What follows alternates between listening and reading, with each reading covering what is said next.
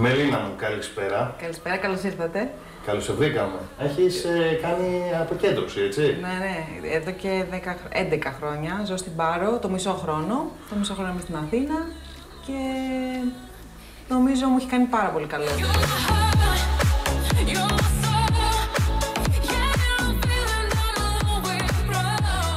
Είχες πάρει μέρος στα καλυστία του Αντένα το 1993. Ναι. Τι θυμάσαι από εκείνη την, ε, την εποχή; Τι να πρωτοθυμηθώ. Ήταν η πρώτη μου φορά καταρχήν που ταξιδεύω μόνη μου. Πήγαμε Θεσσαλονίκη. Εντάξει, ήταν ε, το συνέστημα μοναδικό. Και με το που τελείωσε ο διαγωνισμός, γυρίζω Αθήνα και μπήκα κατευθείαν στον πρωινό καφέ, όπου ήταν η Ρούλα η Κορομιλά.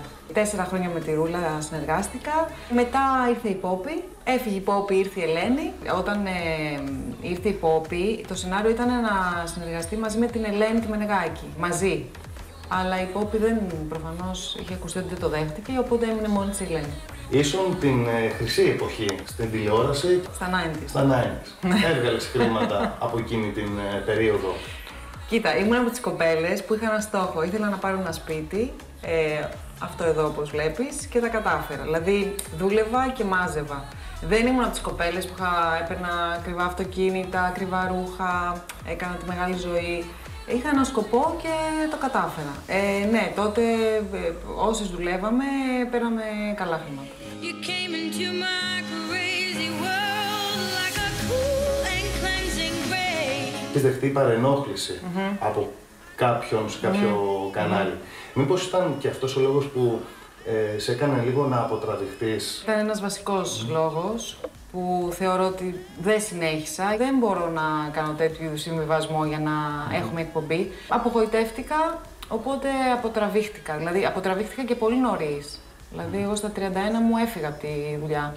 Από εκεί που ήμουν στο επίκεντρο και στη, στα φώτα, ε, αποτραβήχτηκα εντελώς. Δηλαδή, ήταν, ε, ήμουν λίγο των άκρων σε αυτό το κομμάτι. Μετά από τόσα χρόνια που έχουν περάσει, ερχόταν μια πρόταση στο τραπέζι και σου έλεγαν να επιστρέψεις. Θα επέστρεφες στην Ναι, ε, εννοείται. τηλεόραση. Μ' αρέσει η τηλεόραση. Θα μ' άρεσε μια ταξιδιωτική εκπομπή, γιατί μου αρέσουν πολύ τα ταξίδια. Αν σου έλεγαν να πας σε κριτής, π.χ. στο, στο GNTM, θα πήγαινες; Ναι, θα πήγαινα. Θα πήγαινα και δεν θα ήμουν τόσο αυστηρή. Δηλαδή, είμαι λίγο, παίρνω και τη θέση τη, που- του κοριτσιού που έχω απέναντι. Hey,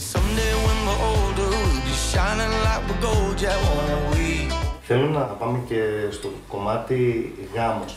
Έφτασα κοντά σε γάμο, ήμουν αραβωνιασμένη. Ε, δεν έγινε τελικά. Φορέσει, ε, φαντάζομαι, αρκετά στην Έχω καριέρα φορέσει σου, έτσι. άπειρα νηφικά, ε, άπειρα. Δηλαδή δεν θυμάμαι πώς, τον αριθμό. Ε, και πιστεύω κάποια στιγμή να φορέσω και το δικό μου. Ε, ναι, δεν ε, κάνω κάποια πρόταση, μην το πάρουν έτσι κάποιοι κύριοι. Θα έκανες ποτέ ένα παιδί το γάμο. Επειδή μεγάλωσα μόνο με τη μητέρα μου, είναι χωρισμένη οι γονείς μου, δεν, ε, δεν ε, είναι καλό σενάριο αυτό. Βέβαια, αλίμονο όποιοι άνθρωποι χωρίζουν ή κάποιες γυναίκες που θέλουν να το κάνουν, καλώς και το κάνουν, αλλά εγώ προσωπικά δεν θα, δεν θα το έκανα. Πιο ωραία είναι τώρα. Πολύ όμορφη. Είναι ε, το ίδιο εντυπωσιακή όπως τότε και θυμάμαι διαχρονικά ήταν ένα κορίτσι χαμηλών τόνων, δεν είχε προκαλέσει ποτέ και με τίποτα.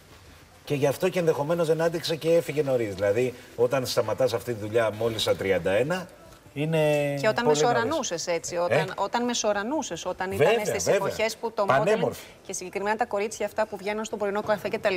Ήταν στάρ τότε. Ναι, Τις για εγώ αυτό ξέραμε θυμάμαι όλες ότι μία-μία. τότε Δεν υπήρχε άνθρωπος να πατάει στο πλατό και να μην έχει τη δική του προσωπικότητα και να είναι διάσημος. Παιδιά, τα κορίτσια που κάνανε μόδα, που έκαναν μόδα στον πρωινό καφέ, Μία προς μία. έπαιρναν ε, πολύ καλά χρήματα εκτός πρωινού καφέ. Γιατί εκεί ήταν Σέλιος Αντωνιάδης Και ήταν όλες Πετσοκοντέ. εστεμένες, Γρηγόρη, έτσι. Ήταν όλες εσεμένε.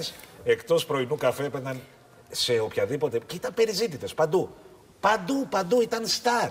Τα κορίτσια που κάναν τη Και μόδα. προσπαθούσα τότε. να μείνω και σε αυτό το χώρο, ενώ τιμή της που εγκατέλειψε γιατί δεν ήθελε να συνεχίσει όλη αυτή την κατάσταση την οποία πιεζόταν από ό,τι Κούκλα. είπε. Κούκλα